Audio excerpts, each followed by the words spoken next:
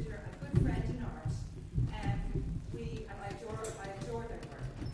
Um, they first met in 2018 at, at, the, at Tulca, at the festival, the annual Festival of uh, Visual Art in Galway, and their work blew me away. And I went up afterwards and uh, congratulated you on your work. I uh, telling you how much I loved it. And then I rated you into some shows after that in subsequent years, a video screening work in Winter Six in Galway the following year, and into Interface, the performing ecologies exhibition that we uh, show we did in the summer in Connemara that Dr. Riley Hutton was part of as well. It was just such a pleasure to work with Day. Their work just gets better and better, and I'm looking forward to hearing more about sort of the background to your development in both as a, as a young emerging artist. So thank you very much. Thank you all so much for coming. Nice. So, um, my name is Day, obviously, and uh, yeah, just get into it. So, uh, what does it say here about me? So apparently, Day Magee is a performance-centered multimedia artist and writer based in Dublin. They have allegedly performed since 2011 as part of Livestock and the Dublin Live Art Festival and Unit 1, having graduated from the Limerick School of Art and Design in 2021 during their time there, staging group live art events managing the Evil Collective.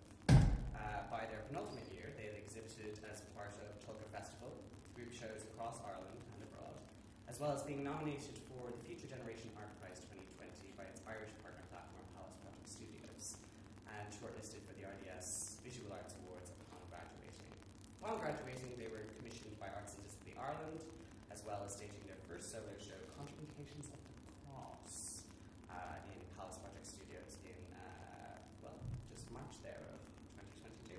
Most recently, they have been commissioned by Áine Phillips at the Interface Inagh, uh, completed a residency with Museum of Everyone, the Lab Gallery in Dublin, written regularly for Visual Arts, uh, Visual Artists News Sheet, as well as hosting and developing regular performance-centered workshops, Body Jam.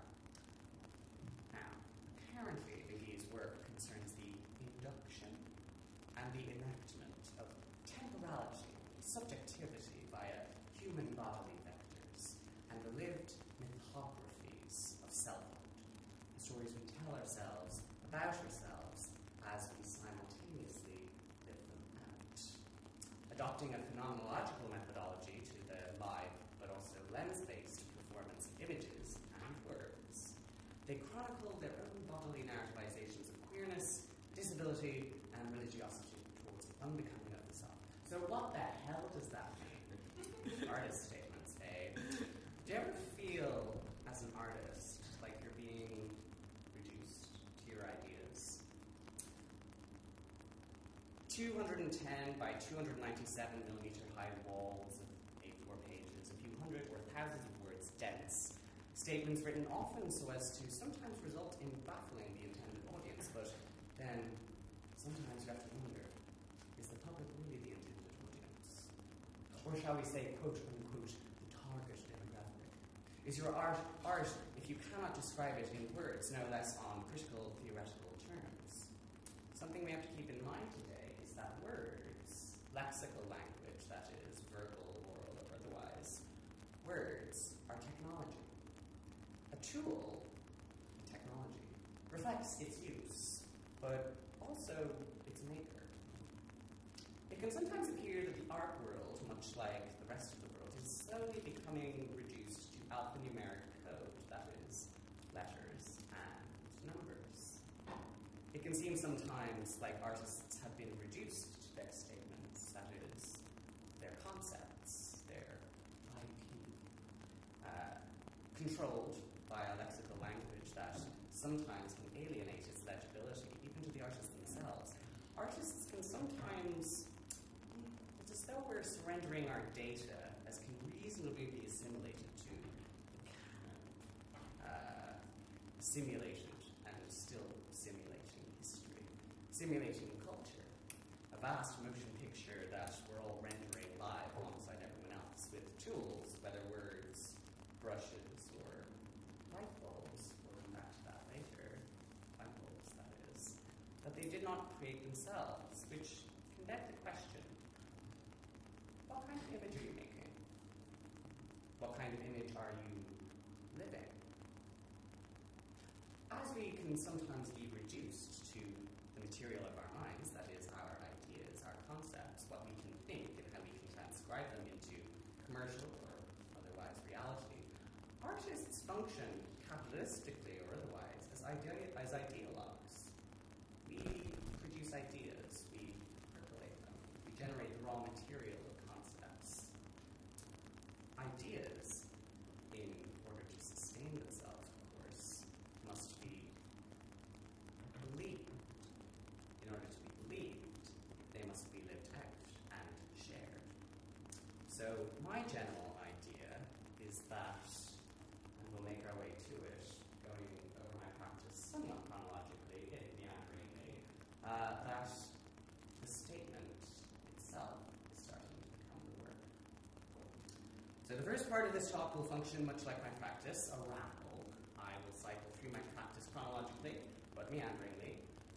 In the meantime, you are currently hearing vibrations produced by various configurations of the vocal cords and the facial musculature of another human body. These are formalized as words, modulated and tones. And the emergent sounds and the head of this speaking body is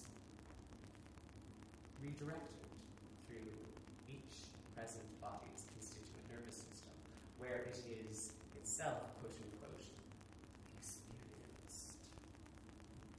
The sound waves travel across space, entering your ear canals, meeting your eardrums, and redirected through this nervous system. Each body being a sort of localized perceptual gradient, or localized sensory gradient. And the words being heard are not just by you, but by me, were written by this speaking body's past self, which it now recites aloud, again, not just to you, but back to itself, reintegrating the data it has produced in a sort of feedback loop, an echo chamber. And the words are deliberately arranged in a specific order so as to communicate information, so as to communicate ideas. An idea that you've been listening to. Before you learned to listen, however, you first heard. You did not learn to hear, you just heard. But before you learned to listen, you were spoken to. You were spoken to according to what was happening at the time. Through lived, approximate repetition, you began to associate these sounds, these words, these ideas with what you were experiencing. Your experience is the information that your body's central nervous system is living. What you have every reason to believe is happening to you, whether words accurately reflect it or not, whether you communicate it to others, or indeed yourself, accurately, successfully, according to you or, or their purposes, or not.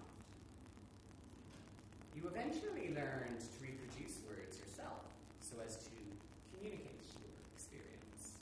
That is, your belief of your experience back to other human bodies, so that they might too believe as you do, to whatever extent. You told a story that you were simultaneously living not simply to others, but to yourself. You did not, however, invent the words, or indeed a lot of linguistic conventions you used to do so. You were not born speaking, say, in this case, English. You were not born thinking in English, or indeed any language later imposed upon you, lexical, verbal, oral, or indeed otherwise. Which begs the question who then, at any given point, is really speaking for you? If not, what? You might say you have been told not simply what, but how to believe. Bodies, after all, are where ideas may live as people. For our purposes, this speaking body is named Day Magee, which I will be sometimes be referring to in the first person, as in quote unquote I, me, but also the third person as they, them, theirs. Incidentally, my pronouns are they, them, theirs. General trigger warning for uh, religious trauma, medical trauma, sexual assault, queerophobia, just generally dark things that will be referred to from time to time. So, this is a digital photograph taken on a phone of a physical film photograph of the speaking body when it was less than a year old, digitally represented via the countless configurations of ones and zeros to reproduce visual information via light emitting diodes on a screen and then projected again. This body was born David Joseph Magee on the 2nd of February in the year 1993. This is the material. They were assigned male at birth, born to two parent bodies belonging to a religious minority in Ireland, fundamentalist evangelical Christianity. The father body, Raymond, a bus driver, was converted by American evangelical missionaries in the late 1970s in his north side Dublin working class neighbourhood, upon which after, apparently, he walked out and proceeded to hug a tree.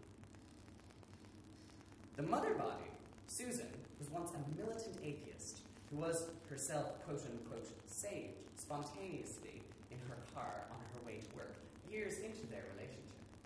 Interesting dynamic. Then, once saved, her father body, himself a minority in the 70s, being an outspoken and militant atheist, briefly disowned her for as such. Evangelical Christianity was and is a religious minority in the Republic of Ireland, which is, of course, otherwise officially predominantly Catholic in its history and culture in the past century or so. With evangelical Christianity, we never had a physical church. Instead, meeting in places such as hotel function rooms, school theatres, community centres, among others. And these considered of charismatically delivered testimonies delivered by speakers, comprised of people from all over the world, despite never having more than 100 members at any point, often refugees as well. Evangelical Church, despite its baggage, is comparatively kind of fun. People dance in the aisles, speaking in tongues, letting the Spirit of God flow through them. Now, we would have been shielded to varying degrees from mainstream media Harry Potter, Pokemon, you name it, really, and the like, being proportionately childhood vehicles for satanic influence. I recall at nine years old or so, one sermon by a visiting American pastor who warned us, that is, the adults and the children in the room, of the end times, eschatology, this idea that the world is going to end soon. And we were warned the end times, microchips in people's heads, vaccines leading to autism, things we now take very much for granted as conventions of generalized conspiracy theory culture. And this body, this material, believed all of it. This body would go to Bible camp until physically working themselves into the mass induction of euphoria, even what I still consider to some degree to be authentic, quote unquote, spiritual experiences. One was not simply taught what one believes to fear, it was also to love. Heady cocktail, heady mix. But then, at 14 years old, this body discovered its attraction to other boys, though frankly, even then, this body did not quite identify as such. I largely understood myself as a camera, just moving largely passively through the world. This was quite an existential problem upon discovering this nascent sexuality, because it did not simply concern this body's life on earth, but its place in eternity, in heaven or hell. And on the same day this body realized its same sex attraction, this body was sexually assaulted by another boy. And this body internalized it as such, discovering this almost immediately after uh, assault, internalizing it as a punishment from God. The 14 year old body was sent to a practicing psychotherapist who was also Christian and underwent conversion therapy. There's this notion that homosexuality was a vector for spiritual death, even demonic possession by the otherwise unnatural sex acts. So obviously this did not work at all. I was a theatre kid, obviously, but also an art kid, performing to camera in the form of self portraits, which you will see over the next few slides.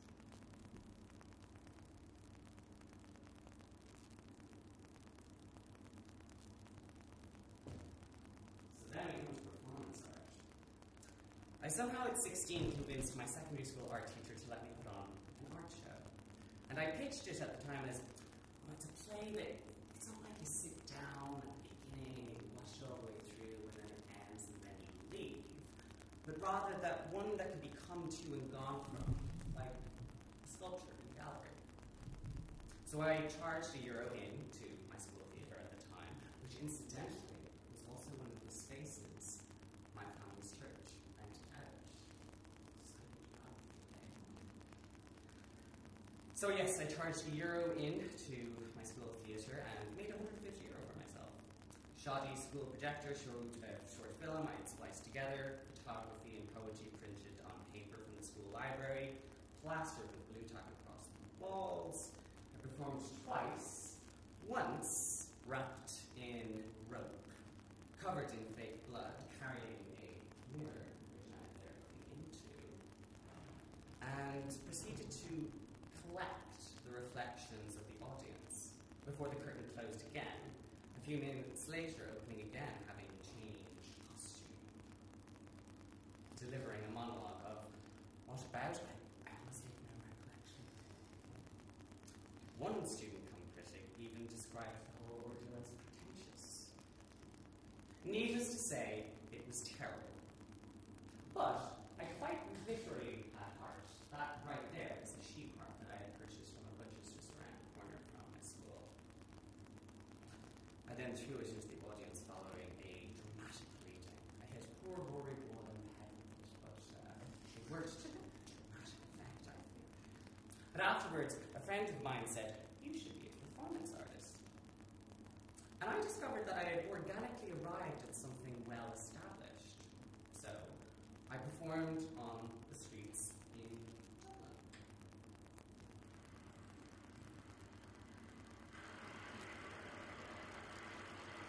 So that's when left. 17. Hey!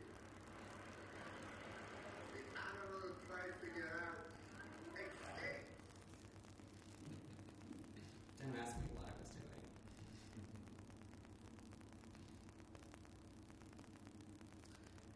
I then performed in now unfortunately defunct Arts Collective Exchange Dublin, which provided me and other communities and individuals, artists or otherwise, with free space and technical support in Temple Bar. Sadly, I could not track down all the documentation at this time in time for this presentation. But eventually I began to perform at performance events such as Unit 1, started by Dominic Thorpe and Vera McKeown, and at Livestock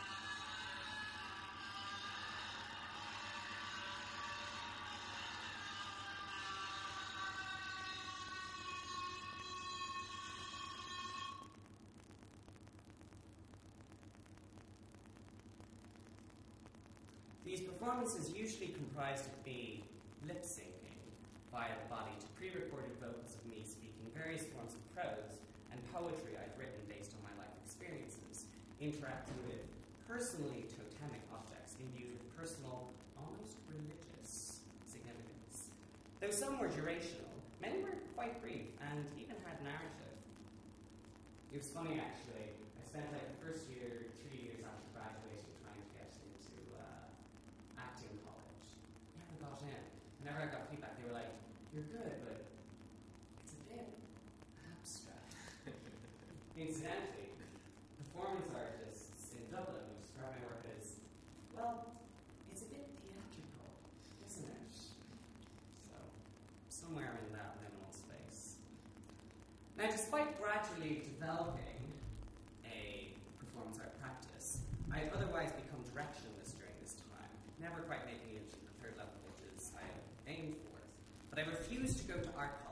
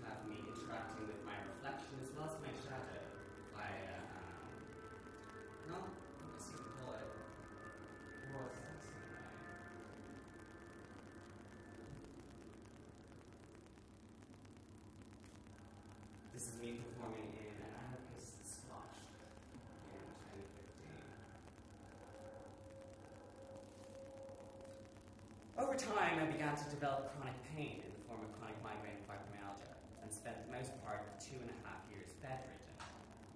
Steadily losing weight, having two slipped discs in my lumbar spine, and the level of inactivity led me to walking on a cane for a while, not to mention the effects of durational isolation in a dark room on one's mental health. Often screens were the only way to participate in the outside world. I still manage these conditions to this day, eight years later, cured, still pending, but on a waiting list for rather promising experiment, experimental medicine. Now, queerness and illness, for that matter, their intersecting histories, deviate from normative social narratives as socially inscribed through Judeo Christian ideology, where deviance of sexuality and ability in accordance with sin, or paralleled in the history of medicine as pathologies, and acutely individuated by virtue of its existence, lacking the narrative social template, template of itself reflected in culture beyond romanticized martyrdom, if not vilification. The queer sick body must author its own survival.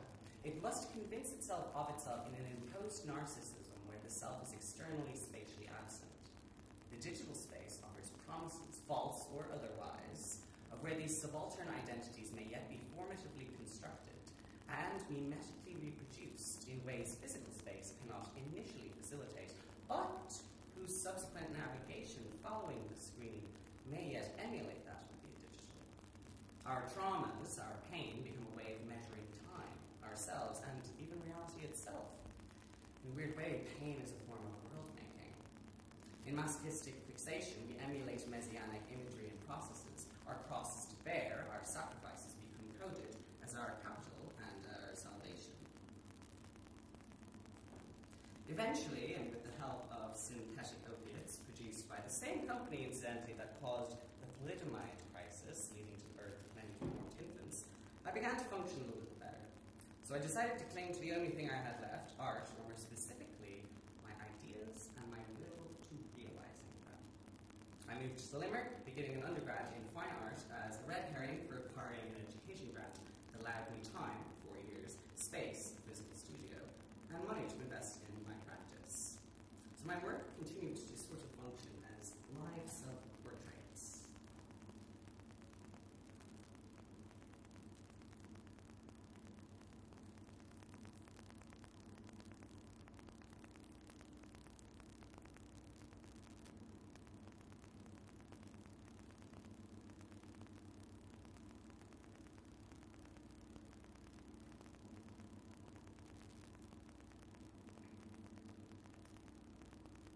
continuing to performatively represent myself, often through the phone. Again, the phone being my gateway to the outside world.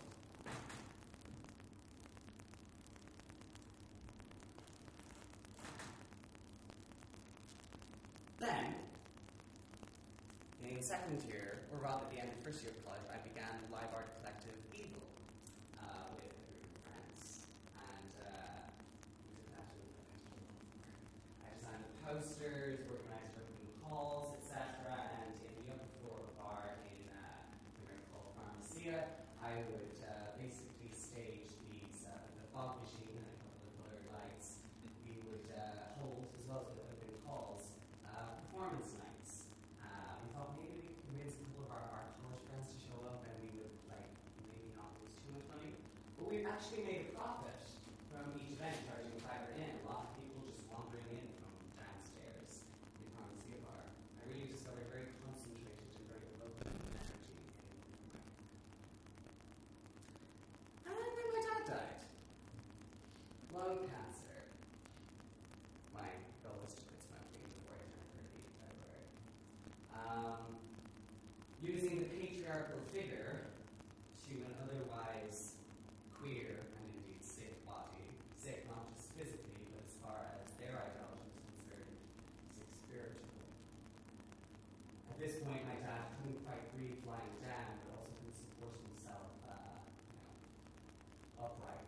So there was a pillow between us, and uh, my aunt Laura photographed this. There was uh, something kind of performative about it.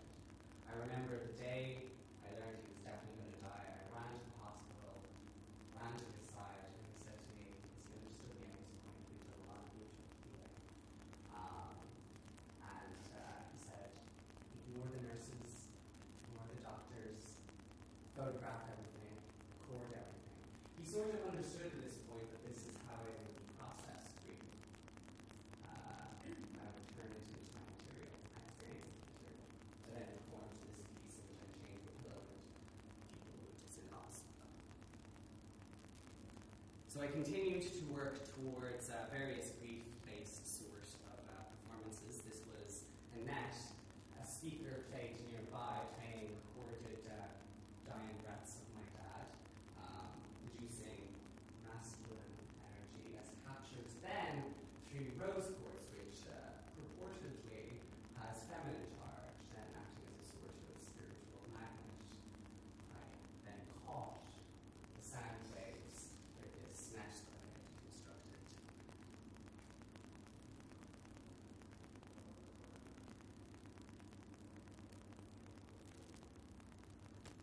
Moving through the five stages of grief over that initial year, I began to continue in this aspect of life self-portraiture, but uh, through the lens of uh, materially experienced death.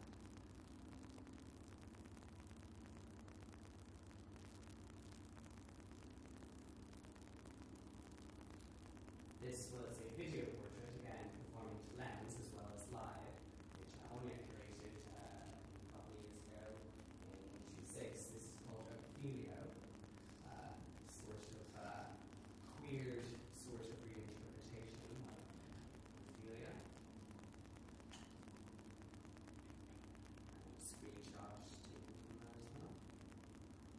Then culminating, having performed Keenings, Keening arising from marriage for a queen, which you cry, having lost the patriarchal figure in my life, then materially engaging a male socialization on an otherwise queer body, having to work through emotions. If grief taught me anything, it taught me how to cry more often. I consider that a gift. But uh, this was the fifth iteration of numerous Keenings I performed. This was in Tulca Festival. The soils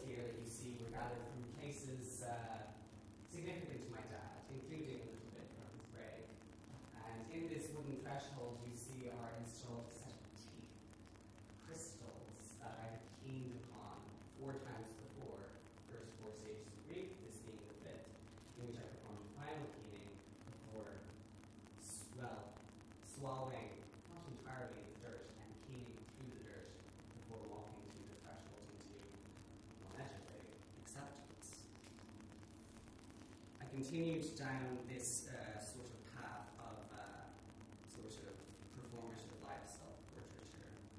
Don't you find that we're all kind of performing images all the time, online or in Not being able to internalize pleasure or joy as they occur. This is a TENS device, sends rhythmic electric shocks. That's uh, in some cases.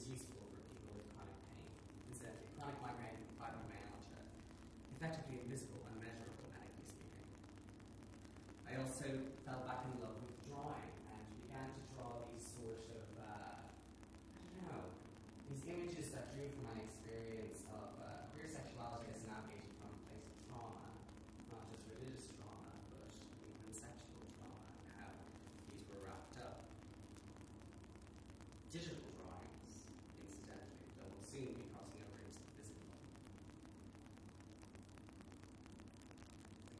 video portraiture screenshots.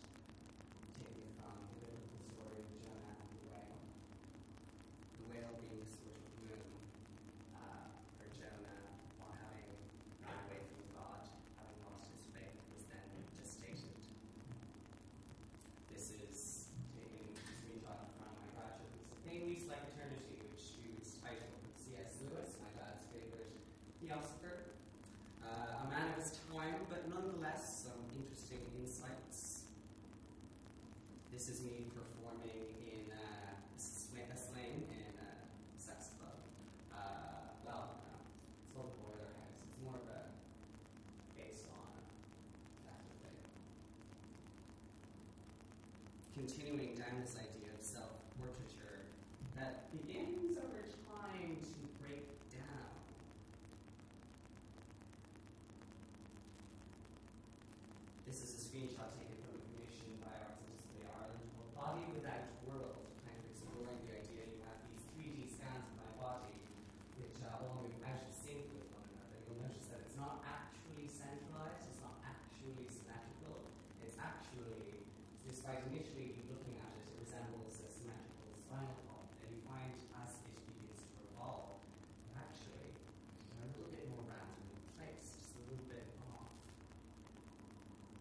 then I began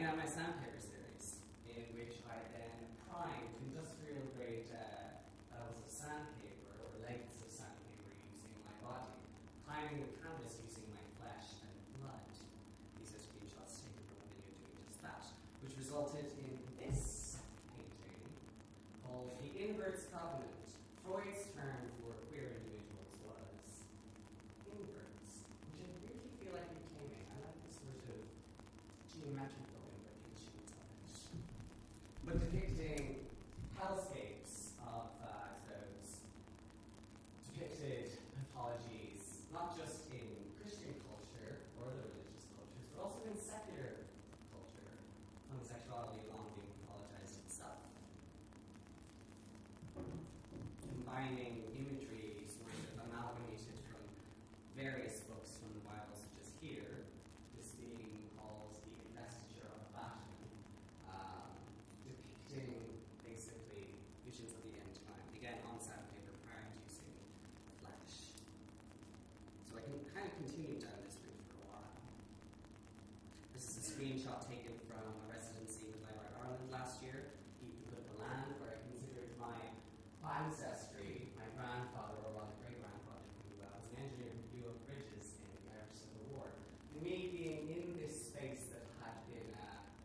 a landlord driven an version of this otherwise uh, tiny building, I'm considering, am I what off for?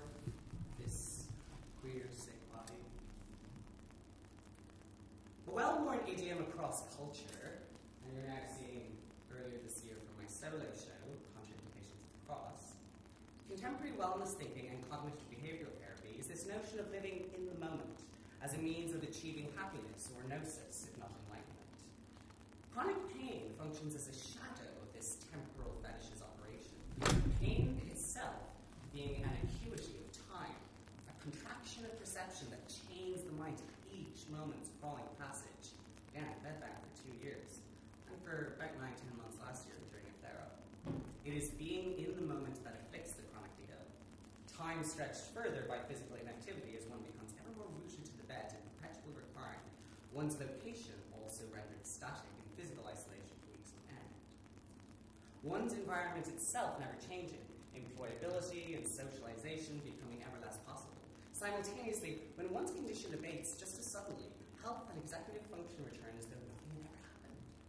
Invisible to any witness, resulting in a double life, each half its own constituent of shame, as the adult rites of passage are far and few between, if not evacuated. These two temporalities have traversed back and forth, experiences a sort of automatic gaslighting of the self induced by the body. The condition's goalposts change freely, much to the chagrin of doctors. Conditions such as these testing the limitations of contemporary medicine. Eventually, as enough time is accumulated through the lens of pain, pain becomes one's world. A basic feature of one's reality. Its perpetuity should render it mundane, and yet the whole evolutionary function of pain is to circumvent one's acclimation to it, to avoid it. Elaine Scarry wrote about how physical pain destroys pain itself, a signal generated by the body, is itself the body's own language, producing both hypervigilance and the will to its own negation or transliteration. Further still, if language creates the world, as Jew, not just Judeo-Christian mytho- mythology, but others as well, language creates the world and the world is spoken to existence, pain is perhaps then a form of, as I say, world building. Though pain is incommunicable through words, it reciprocally generates its own expression through behavioral feedback loop, again to others, but also to myself.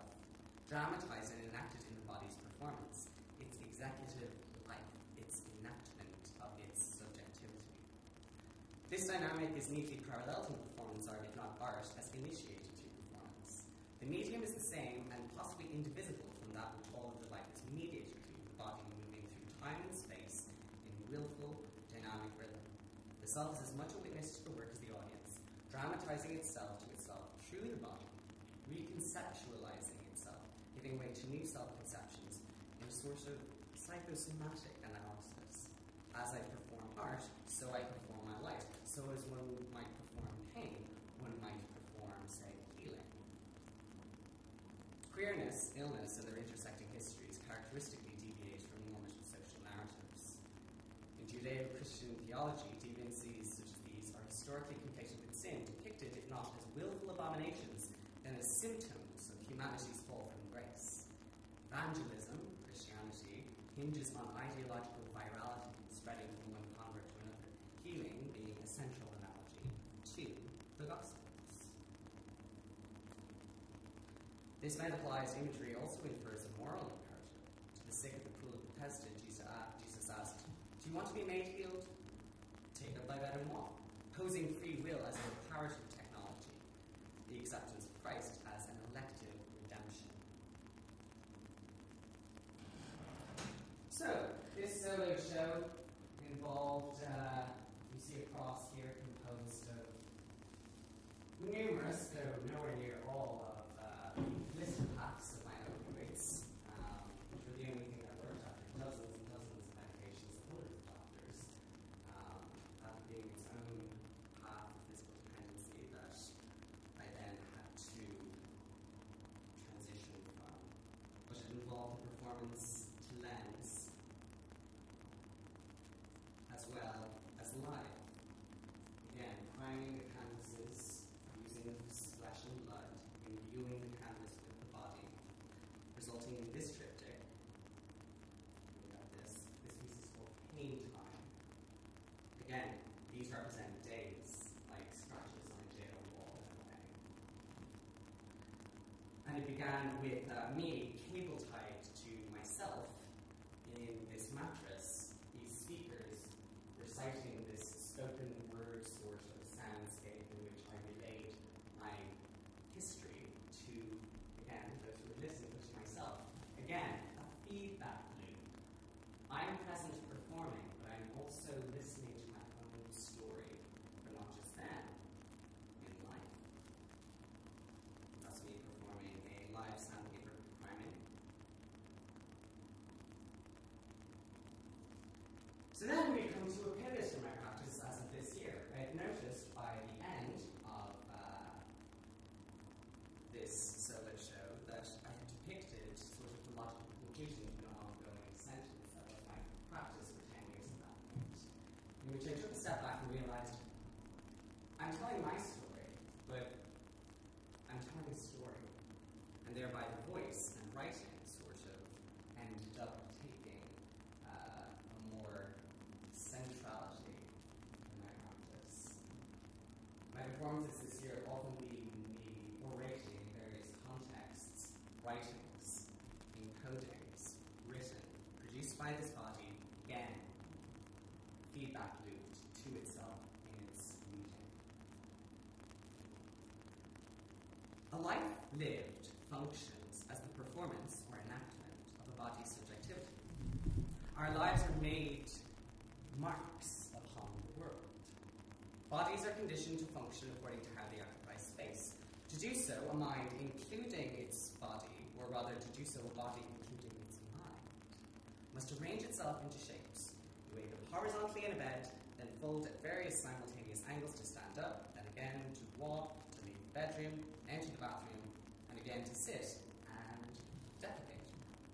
The conditions of this process reflect not just bodily functions, but social proprieties, ideologies of architecture, of quote unquote home. To that end, to speak deterministically, a body is written, written to enact and replicate certain social contracts to varying degrees of legibility, again, to others or oneself. But it is in these repetitions, these daily practices, that worlds are made. They are choreographed, qualitatively induced in the articulating body to itself and others as extruded through time and space.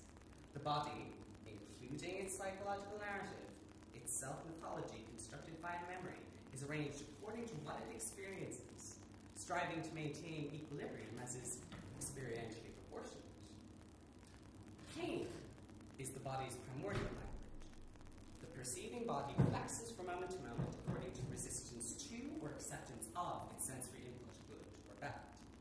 Its experience is interpreted, mediated by the nervous system, simulated to acceptance of or resistance to, dualities, zeros and ones, presences and absences, flows and interruptions.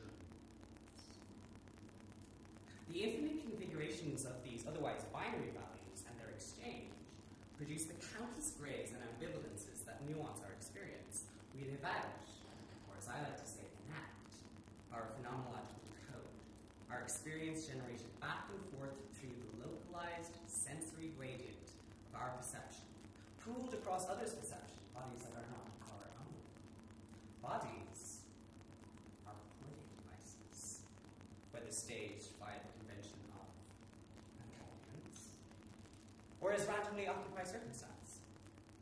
Ideas, systemized as ideologies, in order to flourish, must be believed and so lived out. The suspension of disbelief does not simply invoke a night at the theatre, but is an everyday act of faith.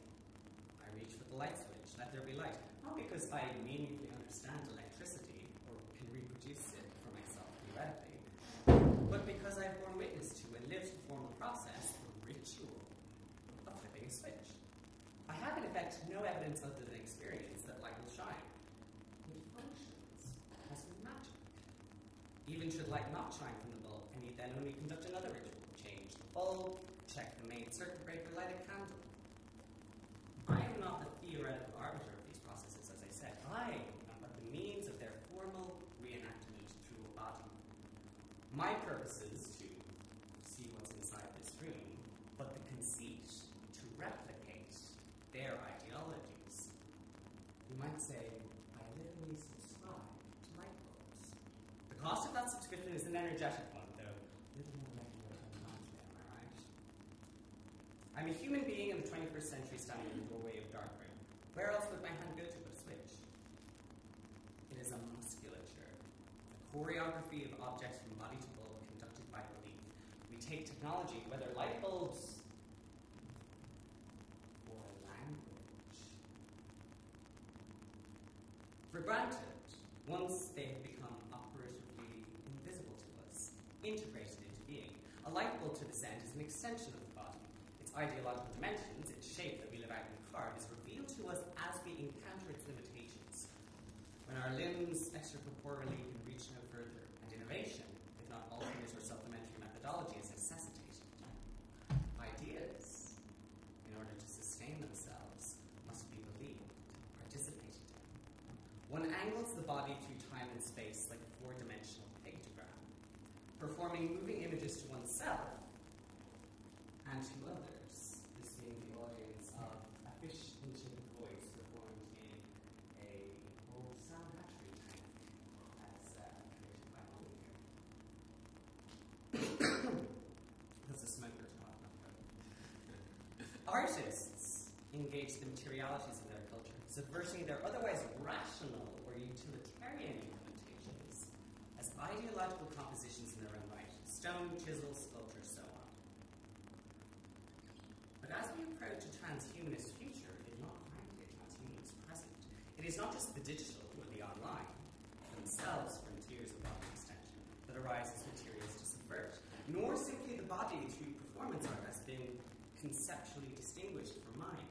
It is mind itself, our thoughts, experience, the stories our bodies tell us and enact. Engages the body directed through time, space, and witness. Witness of spectating bodies as well as the performing body performed to itself.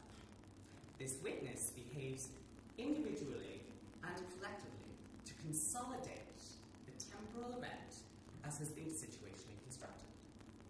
The mind is a constituent element of the body, an interior surveillance culture, ever convincing itself of itself. The medium thereby is the same as one's everyday life. Bodies composing themselves, collectively and individually, generating realities. Going back to the suspension of disbelief in, say, a performance space, one engages the social contract, the embodied subscription to ideological values as imparted through bodily conducts. Not simply those pertaining to everyday life, but performance as well, notions of entertainment, of attention, and how it might be conducted.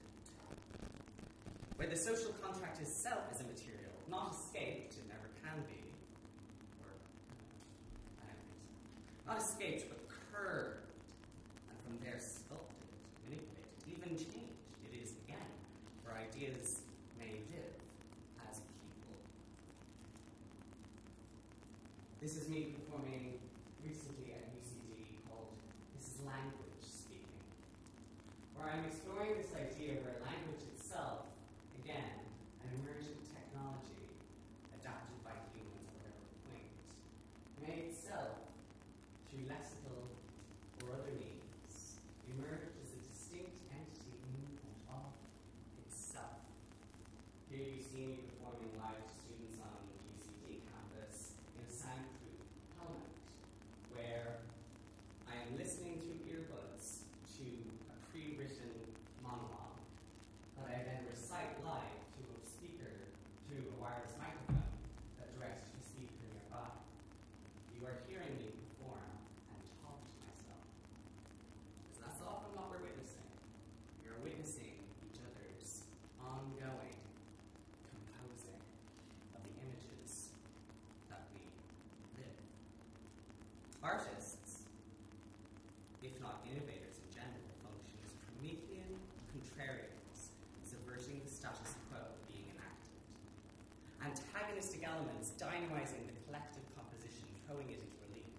There are literal kinks in the social fabric, all of which is a continuum, Aristotle.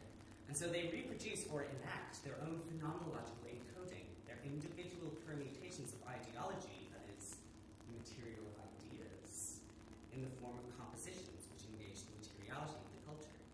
These often subvert or agitate the rationale of the given paradigm at the time, functioning as irrational. Or perhaps functioning towards what is irrational as relative to what is predominantly considered rational, before its novel, nascent, new form of logic is assimilated into the larger whole. Though to do so first, they must meaningfully internalize the status quo in its most subaltern iterations, so as to identify its system's flaws, say capitalism or what have you, through materially living, flaws, functioning as a simulation of the collective social organism's limitations, and thereby an ideology's operative viability over time in various enacted permutations.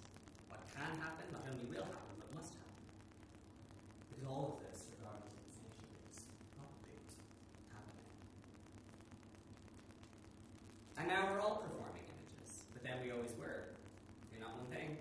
You're experiencing yourself as something, then another thing, and another thing, and then another thing, and then another thing, and then another thing. And however fractional a complete frame rate of space and time it's possible to capture. Apparently the smallest is called a yoctosecond. Imagine extending this to the entire universe. Each inactive iteration through time perpetually distinguishes itself through time from moment to moment. We are generated. We experience ourselves and live living pictures, living compositions, living ideologies. This year, having performed largely these orations, the artist's statement not being relegated to flat page, but spoken, generated, having been reduced to my concepts, has led me to jam workshops, which involve phenomenological sort of methodology to engaging, again, not just the body as distinguished historically from the mind, but the mind itself, subjectivity itself. Not simply your history, not simply the story you told yourself about yourself, about who you are, but right here, right now, as a material. Because I find when reduced, whether to the art world, to having to describe myself on critical theoretical terms, or in bed for two years in unbelievable amounts of pain, not able to move, I'm reduced then to the materiality of my thoughts. That is how I survive. It is how I might compose my life. Here you'll see some footage of body jams. Here's the thing, you know yourself, being an artist is quite insular.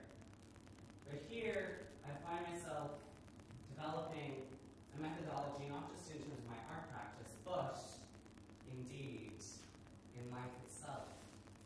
If I might be able to say, delineate a space and time where the body, otherwise conditioned, might leave its identity on a coat rack nearby and just be a body for a while. You've probably been told to just be yourself. I have no idea what myself is. But I know that I am here. Maybe I am here-ness. To whatever degree. And yes, we relegate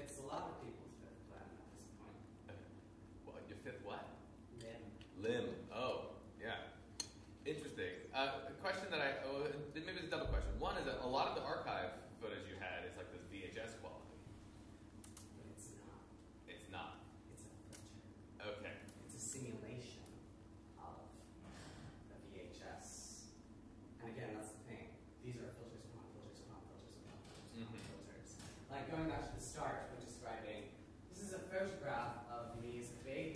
This is actually a digital photograph taken on my phone of a physical photograph that itself was taken to a camera of a body that is no longer temporarily present, and then redirected through multiple things and projected onto the screen, filters upon filters upon filters.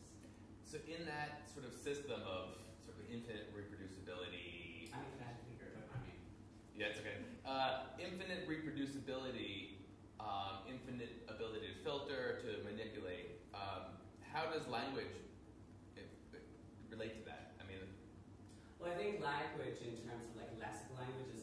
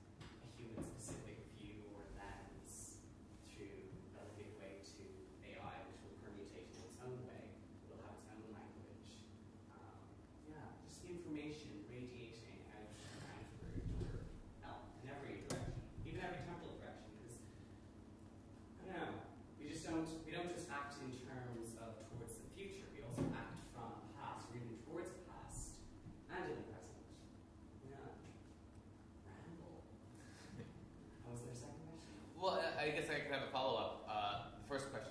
That was that, that was the second.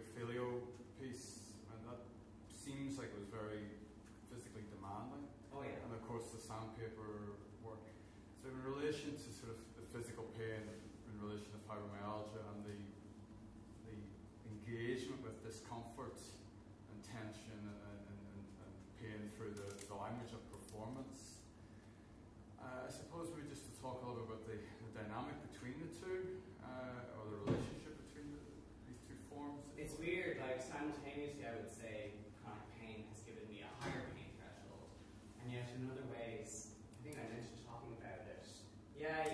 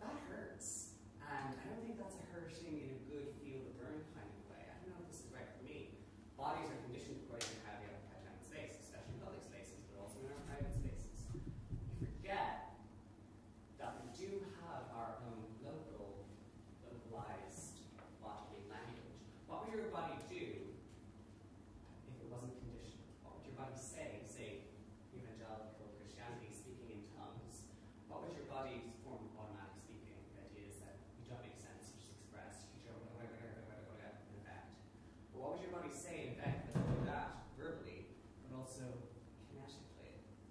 Um, also sort of functions as a sort of outward stimming space.